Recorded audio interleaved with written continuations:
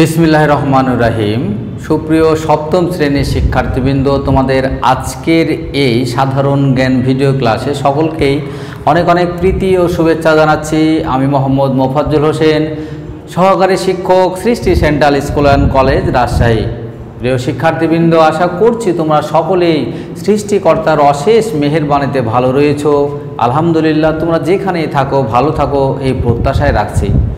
প্রিয় শিক্ষার্থীবৃন্দ, তোমরা নিশ্চয়ই অবগত রয়েছ, গত সপ্তাহ থেকে তোমাদের সামনে একদিন করে এই সাধারণ জ্ঞান বিষয়ে ভিডিও ক্লাস যাচ্ছে। তো আশা করছি তোমরা সকলেই ভিডিও ক্লাসগুলো বেশ ভালোভাবেই অনুসরণ করছ। যারা হোমওয়ার্ক দেখিয়েছো, অনেক সুন্দর হোমওয়ার্ক হয়েছে। আমি যদিও হোমওয়ার্কটা একটু অন্যরকমভাবে দিয়েছি, তারপরেও যে তোমরা সেগুলো করে দেখাচ্ছ, তার জন্য তোমাদেরকে অনেক অনেক সাধুবাদ জানাচ্ছি। তো সামনে তোমাদের সেমিস্টার পরীক্ষা, নিশ্চয়ই তোমরা পড়ালেখা নিয়ে অনেক বিজি টাইম পার করছ। তারপরেও যেহেতু আমাদের এই সাধারণ জ্ঞান বিষয়েও পরীক্ষা নেওয়া হবে, প্রত্যাশা করব অবশ্যই তোমরা এই যে তোমাদের যেটা রয়েছে সিলেবাসে সেই সিলেবাসের লেসনগুলো খুব ভালোভাবে আয়ত্ত করতে পারবে। তোমাদের সিলেবাসের যে লেসনগুলো রয়েছে বারো, পনেরো, ষোলো, সতেরো এবং একুশ, তো আশা করছি তোমরা সকলেই ইতিমধ্যেই এগুলো কমপ্লিট করে ফেলেছো। আমি তোমাদের সামনে জাস্ট সেই তথ্যগুলোর পাশাপাশি একটু নতুন তথ্য দেওয়ার চেষ্টা করি। এই আর কি পড়াটা কিন্তু তোমাকেই করে নিতে হবে।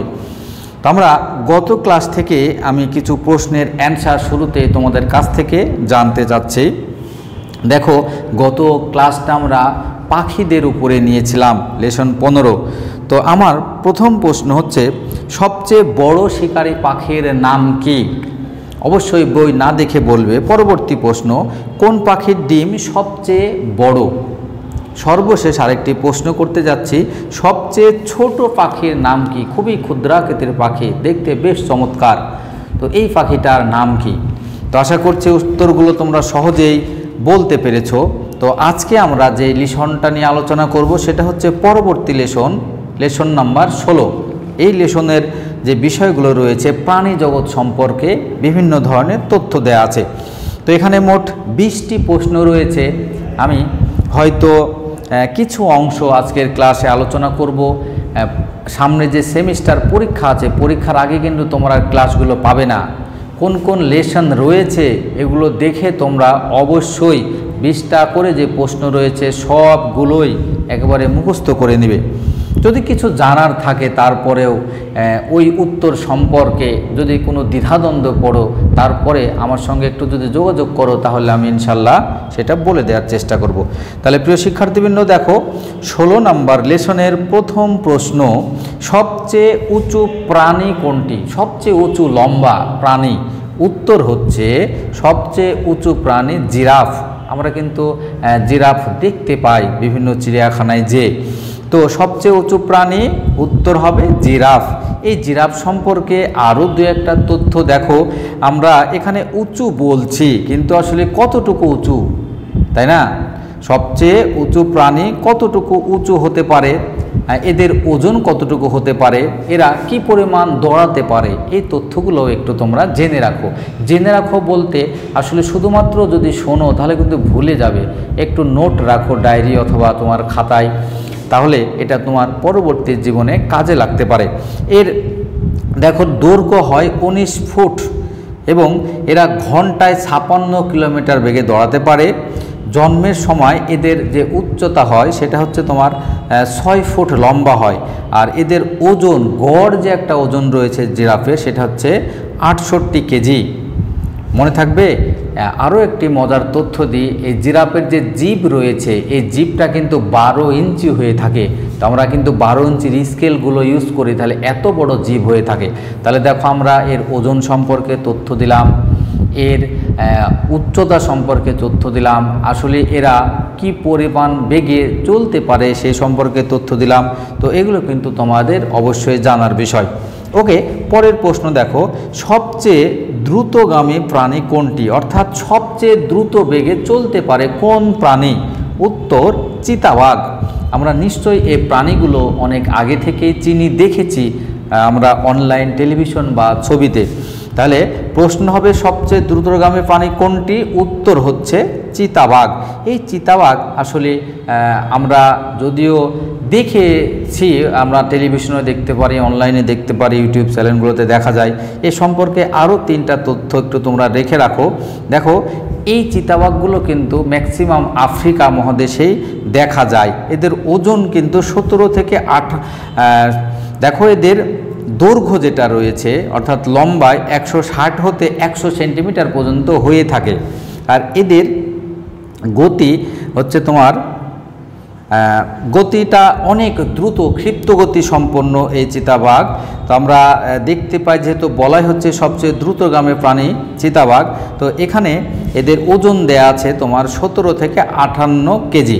তাহলে এই তিনটা তথ্য দিলাম যে চিতাবাঘ সবচেয়ে দ্রুততম প্রাণী এরা আফ্রিকা মহাদেশে কিন্তু এদেরকে দেখতে পাওয়া যায়। এদের যে দৈর্ঘ্য রয়েছে সেটা হচ্ছে একশো ষাট হতে একশো সেন্টিমিটার। আর এখানে দেখো ওজন দেয়া আছে তোমার সতেরো কেজি থেকে আটান্ন কেজি। পরের প্রশ্ন, পশুর রাজাকে পশুর রাজা কাকে বলা হয়? উত্তর হচ্ছে সিংহকে পশুর রাজা বলা হয়। তো সিংহ সম্পর্কে আরও যে তিন চারটি তথ্য আমি নিয়ে এসেছি, সেটা হচ্ছে এই সিংহর দুইটি জাতি রয়েছে, একটা হচ্ছে আফ্রিকান জাতি আর একটা হচ্ছে এশিয়ান মহাদেশীয় জাতি। তো আফ্রিকান বনে আসলে একটা জরিপে মোট যে সিংহের সংখ্যা দেয়া আছে, সেখানে দেয়া আছে তিরিশ হাজার সিংহ রয়েছে। আফ্রিকান যে জাতি, সেটা মোট তিরিশ হাজার সিংহ রয়েছে। এশিয়াতে মোট তিনশো পঞ্চাশটি সিংহ রয়েছে। এদের ওজন তোমার একশো পঞ্চাশ হতে দুইশো পঞ্চাশ কিলোগ্রাম হয়ে থাকে, অর্থাৎ কেজি হয়ে থাকে। তাই এই ছিল সিংহ সম্পর্কিত তথ্য। প্রশ্ন নম্বর চার, কোন প্রাণী দাঁড়িয়ে ঘুমায়?